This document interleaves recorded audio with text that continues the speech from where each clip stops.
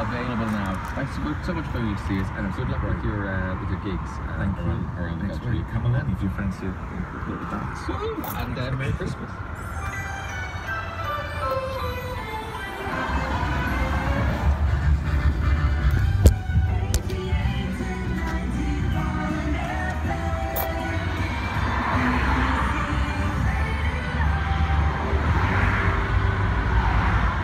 What is a torch song? A popular song known and unrequited love. feeling